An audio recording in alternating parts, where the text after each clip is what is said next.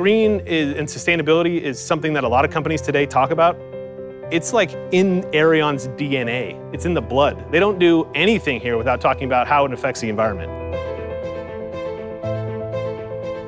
So when we talk about Airion Park and it being sustainable, it's not the same as what other companies talk about. The sustainability goals we have for this project are net zero. So we want to be able to sustain our own power, water, things like that. Things such as white roofs to reflect the energy back up instead of absorbing the heat from the sun if it was a black roof.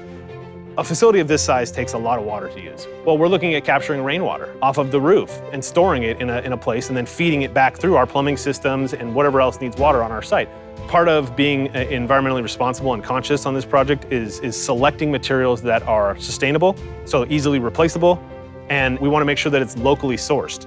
So if we bring something from across the Atlantic Ocean, it has to be put on a ship, drive over here, put on a train, a car, a truck, whatever the case may be, as opposed to selecting something that's within 500 miles of the site, it's simply a truck drive down. The site is a huge component of Aerion's overall green sustainability initiatives. It's building that to make sure that it's the most state-of-the-art facility that the world has ever seen.